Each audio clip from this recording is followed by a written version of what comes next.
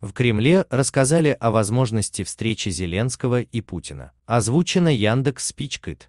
Пресс-секретарь российского лидера Дмитрий Песков прокомментировал возможность встречи главы государства Владимира Путина и президента Украины Владимира Зеленского.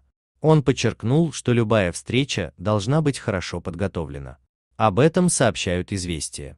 Президент Путин никогда не опровергает априори какие-либо встречи, тем более когда встречи могут быть результативными и принести пользу всем, отметил Песков.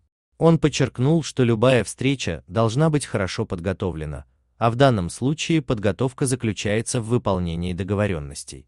В данном случае лучшей подготовкой может и должно быть выполнение ранее достигнутых договоренностей, в первую очередь мы говорим о Минском комплексе мер, во вторую очередь говорим о тех договоренностях, которые были достигнуты в Париже, заявил пресс-секретарь Путина. Напомним, в начале декабря 2020 года власти России исключили возможность встречи Путина с Зеленским в ближайшее время.